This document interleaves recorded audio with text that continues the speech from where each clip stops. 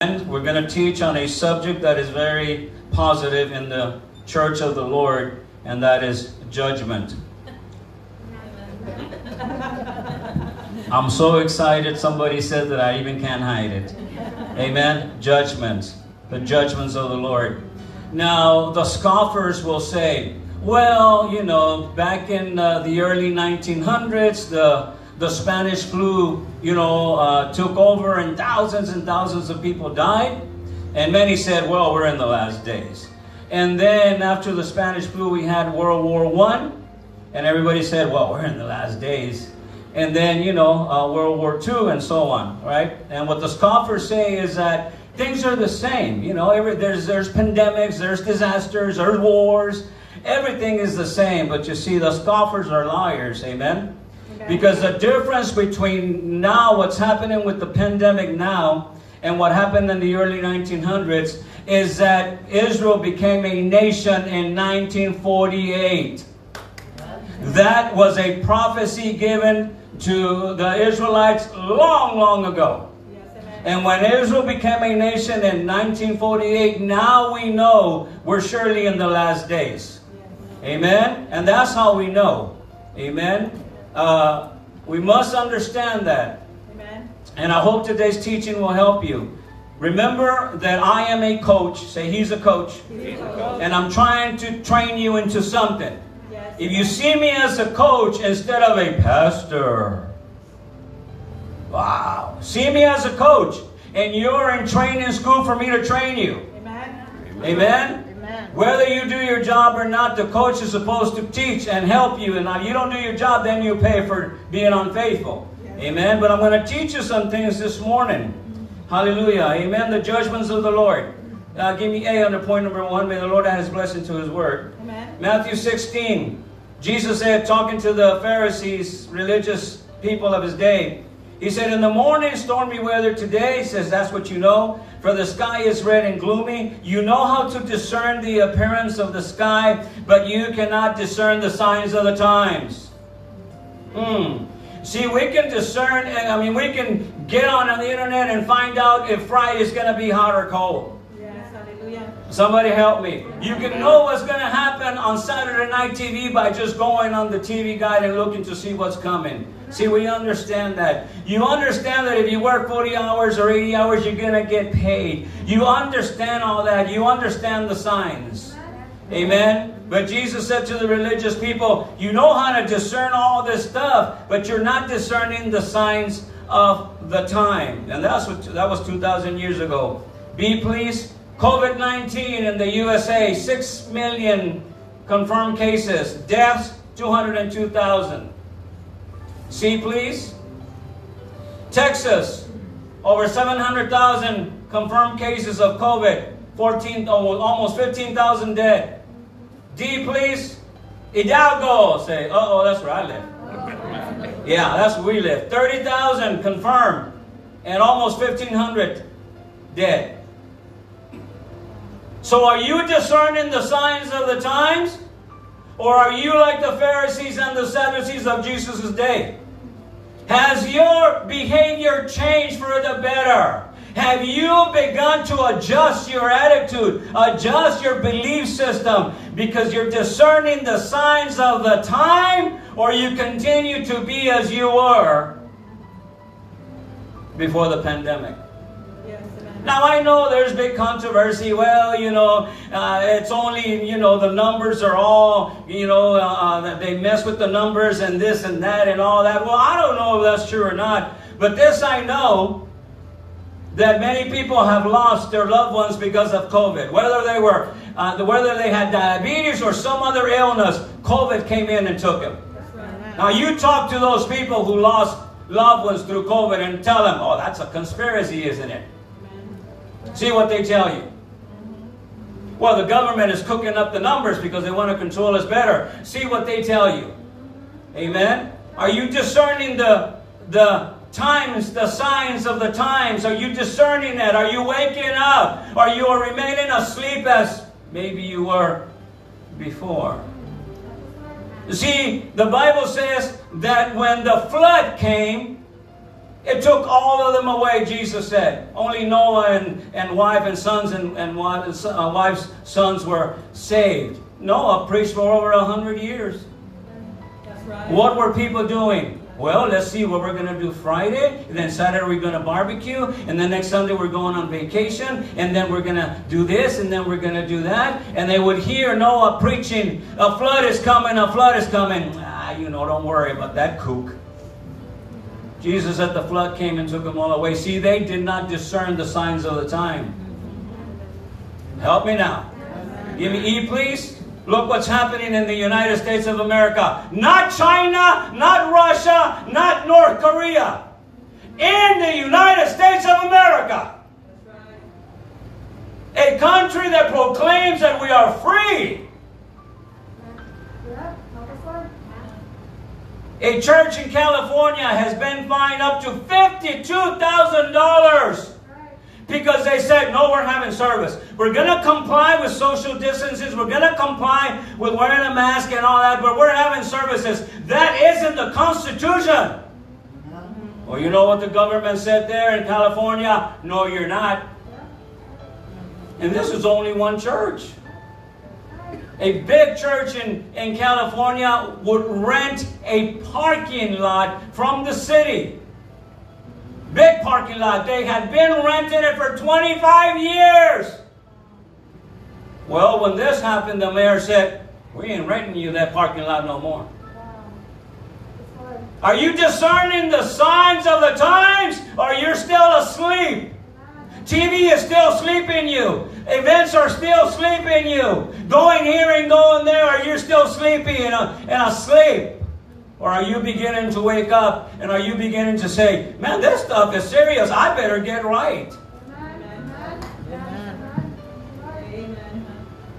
F, please. This is at the beginning of, of COVID. A pastor in Florida said, nope, we have a constitutional right to, to worship the Lord, and, you, and the government can make no law concerning that. They said, We don't care. They went and arrested the pastor, put him in jail, took his picture, mugshot of the criminal.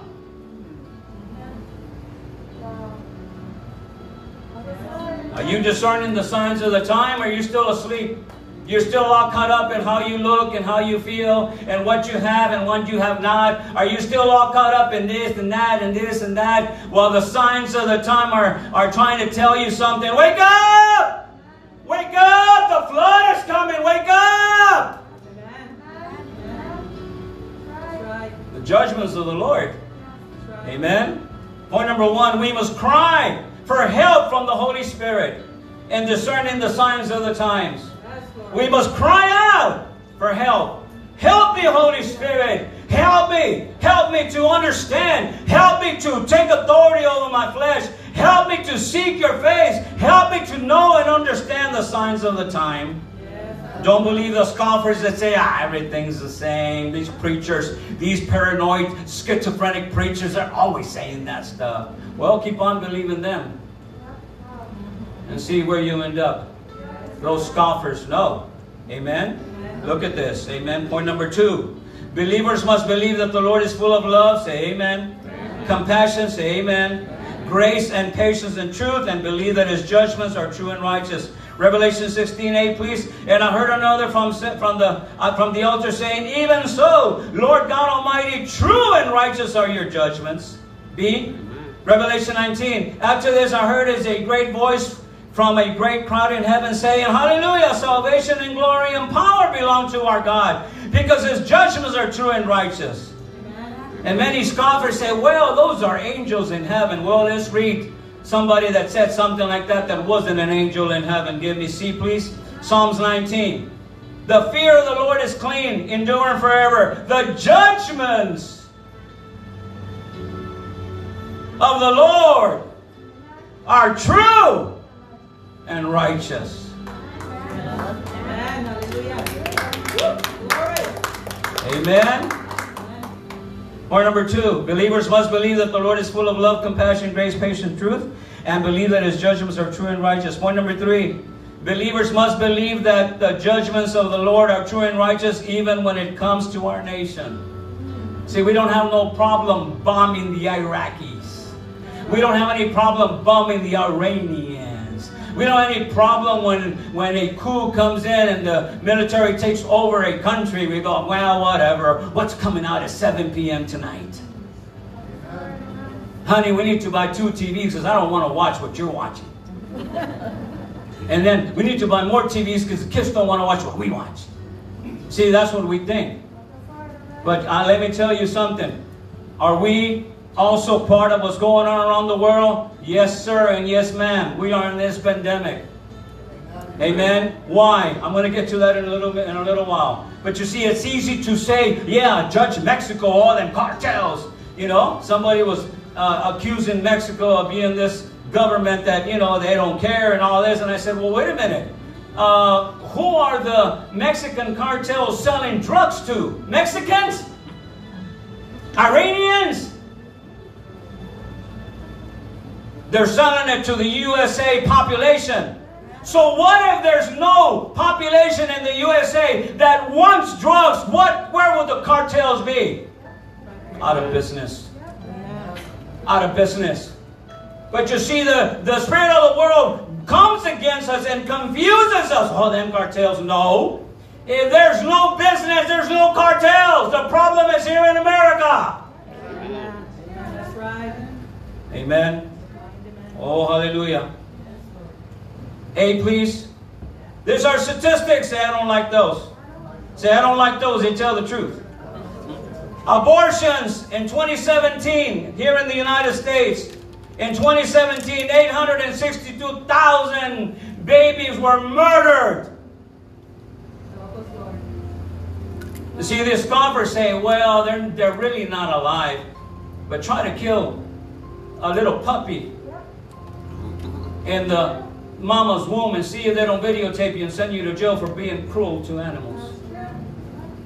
Amen. Do that. Go outside and then give a good kick to your dog because he's not pooping where he wants to poop. And somebody videotapes you. See what happens to you. You'll be thrown in jail and fined, but you see, you can't kill a baby. Not a problem because they're not alive. Per year, that's per year. Per day, 2,362 babies per, per day are aborted. But what's coming out next Friday? Are we going to the beach next weekend?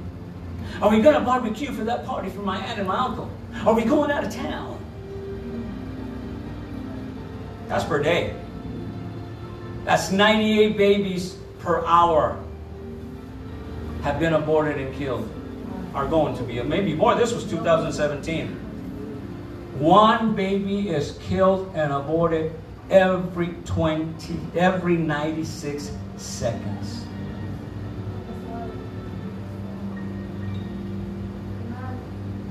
Be please. But you see, there's good news. Say, oh Lord. 68% of the citizens of the United States believe that Jesus is the Son of God.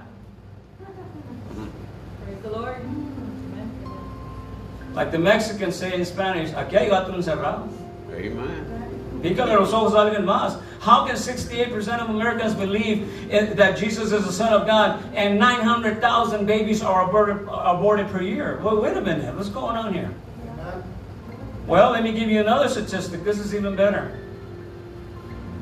We must believe that the, that the judgments of the Lord are true and righteous when it comes to our own nation.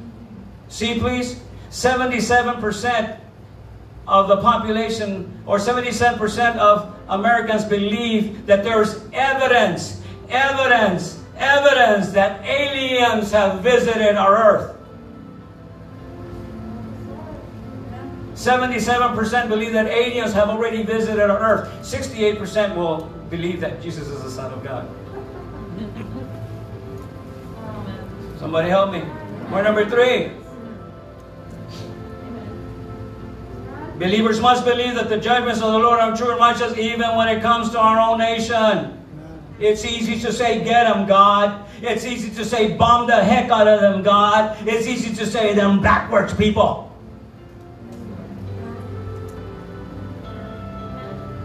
For many years, I've told this church, one day you're going to open the back door of your house and you're going to go, What the heck is going on?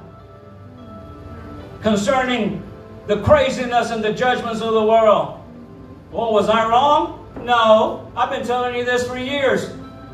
I've been telling you this for years. It's coming, it's coming. Prepare, prepare, prepare. It's coming, it's coming, it's coming.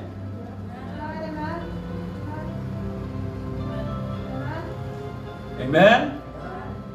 Point number four believers must believe that the judgments of the Lord are true and righteous, even when it comes to our churches. Oh, getting closer. Say, come on, do part two next week, Bishop. A, under point number four, these are the churches of the New Testament. Jesus said, Write to the angel of the church of Sardis, he who has the seven spirits of God and seven stars in his hands. I know your works, that you have a name that is alive, but you are dead. In other words, that's the church you went to because it had everything.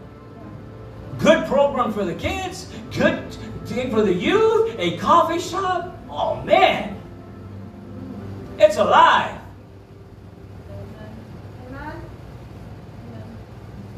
Got an email from a lady that said, uh, "Do you have a, a, children's church?" I go, "Yeah, yeah, we do."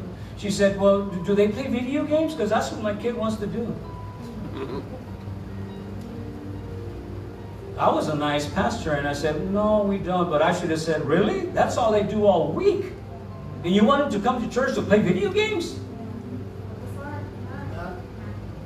Somebody's not being a good parent. Amen. Wow. Amen. B, please. Another church. Write to the angel of Laodicea. Because you say, I am rich, I have enriched myself, and I need nothing. And don't you know that you are miserable, worthy of pity, poor, blind, and naked? Wow. Point number four. Believer must believe that the judgments of the Lord are true and righteous, even when it comes to our churches being judged. And that includes this one. We are a church, aren't we? Amen. Big time, big time president over a big college. You probably heard of this. Big time president of a college, famous college. You know, his dad built the college and then the son took over. Caught in a scandal. Wife having an affair with the pool board. Make sure you don't have a pool now. Make sure you don't have a pool now. And if you do, hire Pancho. Amen. Hire somebody that's you know, that's got a pot belly so big that he can play with his belly button when he's saying, "You want me to clean the pool?" Hire him, or else you'd be in trouble. You know, and this young man who brought this out is going to be judged by the Father because he knew exactly what he was doing. He recorded conversations that doesn't justify the wife doing what she did, and it doesn't justify the husband doing what he did. But judgment is falling upon the church. Amen. Point number six. Point number five. Believers must believe that the judgments. There we go. Point number five. Give me number six, please. Believers must believe that the judgments of the Lord are true and righteous, even when it comes to our personal family. Don't you tell me that. Oh man, you can judge the neighbor's kids. You can even judge my sister and my brother's children. But don't you dare talk about mine.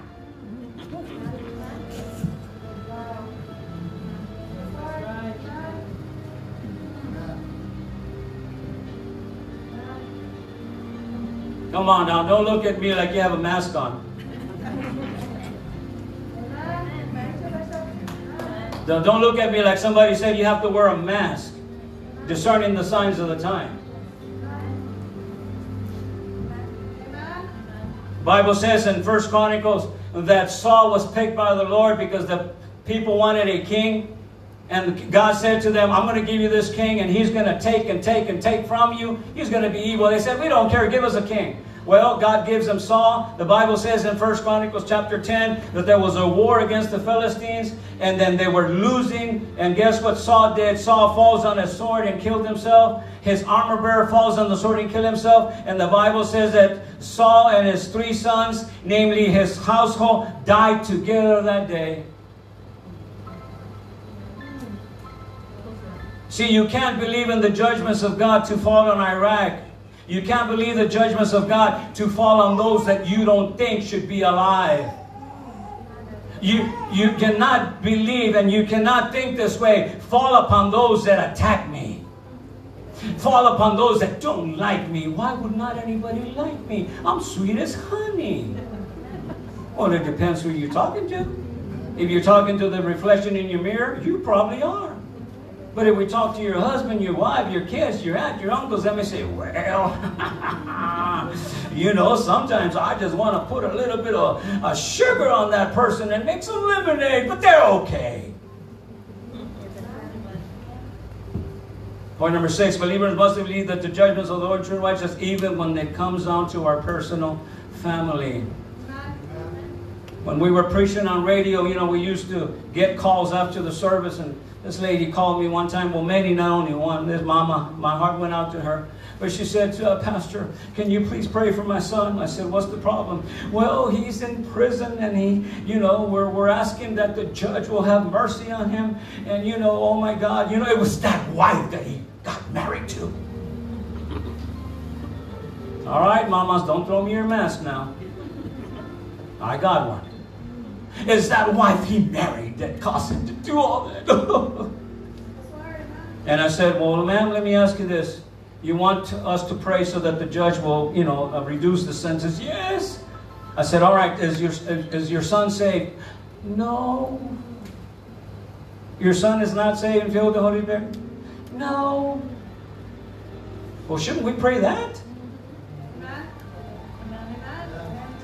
Hallelujah. I think I'm not hearing too many amens because of the mask. Amen. The mask is preventing you from saying amen. Yeah? Hallelujah. Amen.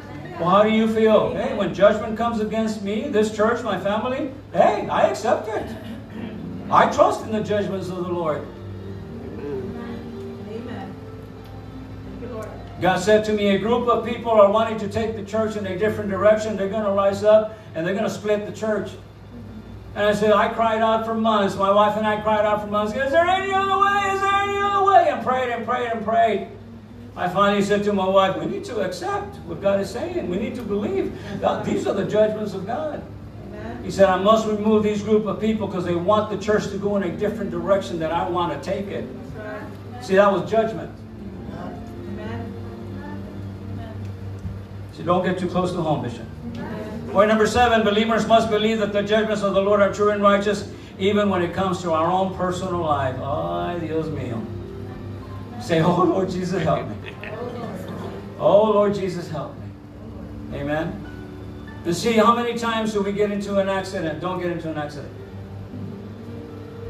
Say, I'm not going to get into an accident. How many times does a person get into an accident? Right? And they say, oh, it was an accident. Really? An accident. Yeah. Perfect timing. At the same place, at the same time, boom. Perfect timing. And you get into an accident. That doesn't sound to me like an accident. Sounds to me like there was perfect timing going on. Boom. What if you waited a few minutes before? You would have missed the accident. What if you went a few minutes ahead? You would have missed the accident. Right.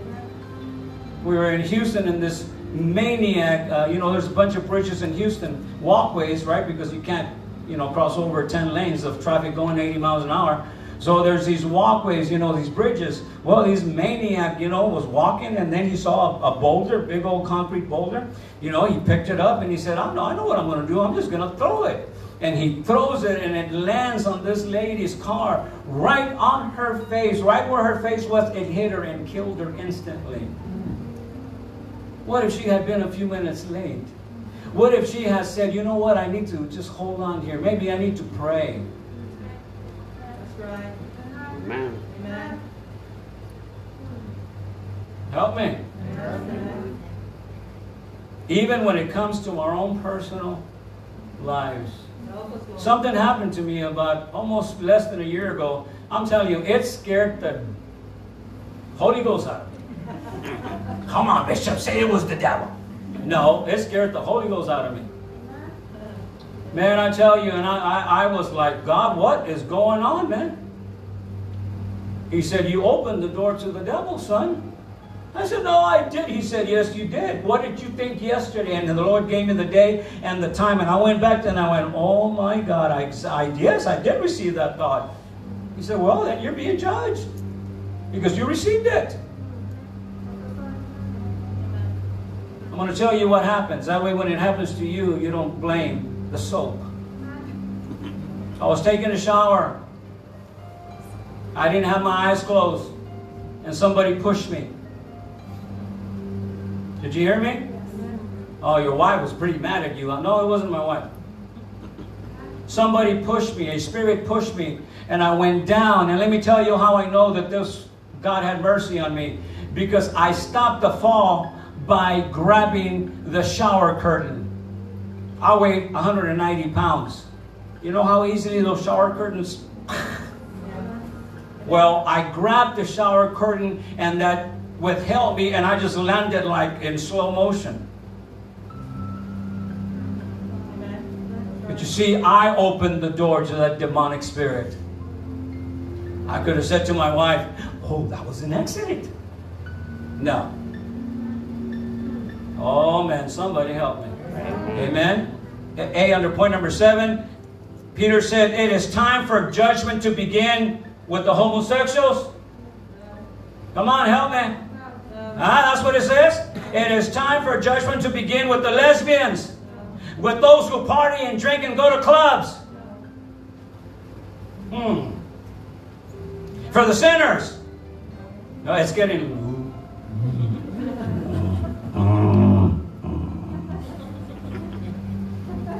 Come on now, this is the first service we've had since Mother's Day. Show some enthusiasm. Amen. It is time for judgment to begin, to start with us. Peter says, What will happen to those who refuse to believe God? Even worse. Point number seven believers must believe that the judgments of the Lord are true and righteous even when it comes to our own personal life. Now, things have happened to me Things have happened to me, and God has told me I allowed that to happen because I want to teach you something. That's a judgment. Mm, say, oh Lord Jesus. I think Bishop needs to take a sip of coffee there. Because my brain's really freaking out. Point number eight believers must believe that the judgments of God are true and righteous and must judge themselves under the light of the Holy Spirit to make appropriate changes to their behavior. See, we judge ourselves all the time. Well, I don't know, Bishop. It's been a while. No, you did it this morning. Didn't you look in front of the mirror and said, Woo! Woo! I said to my wife, honey, how come how come women take selfies and it's only on their face. she said, because the husbands are jealous. I'm like, hmm, I got to think about that one. Amen? See, you judge yourself all the time. You get on the scale and you go, my God, I need to lose some weight. If you overeat, you judge yourself, you go, oh man, I think I ate too many burritos. You wake up in the morning feeling like a truck ran over you. You judge yourself and you go, my God, man, I must not got any sleep last night. I feel like a dog. I feel like I've been run over by a truck. You judge yourselves all the time. You go into your bank account and you go, my God, 30 bucks left. Well, praise the Lord. Judge yourself all the time. You're driving in the car and you're judging yourself. Okay, speed limit is 60. All right, I need to go 60.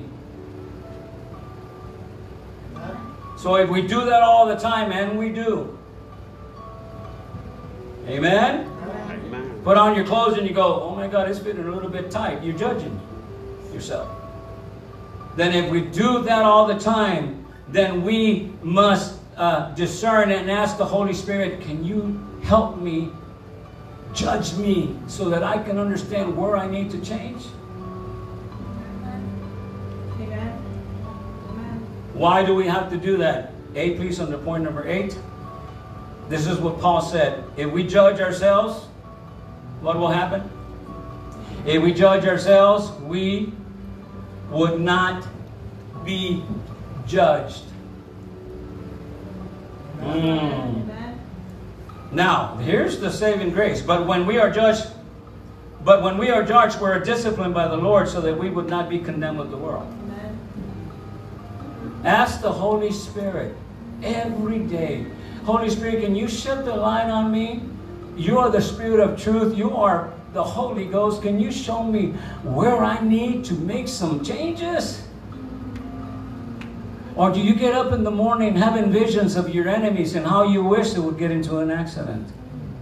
Or do you wake up each morning thinking about other people' behavior? I, and my husband would only change that bum. Oh, if my wife would only change that bummer. Oh, if I just had more money. Oh, if I this. Do you wake up thinking that way? You wake up having visions as we think in pictures. Amen.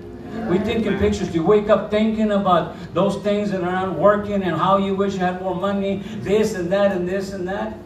Oh, yeah, Bishop, we do it all the time. Well, I got some revelation for you. As you're doing all that, also tell the Holy Spirit, Holy Spirit, shut, shed the light on me so that I may know what kind of behavior I must change so that when judgment comes, I won't be judged. Amen. I'll be part of what's going on, but I won't be judged. Point number eight believers must believe that the judgments of the Lord are true and righteous. Say, Oh Lord Jesus, help me. And judge themselves under the light of the Holy Spirit to make appropriate changes to their behavior.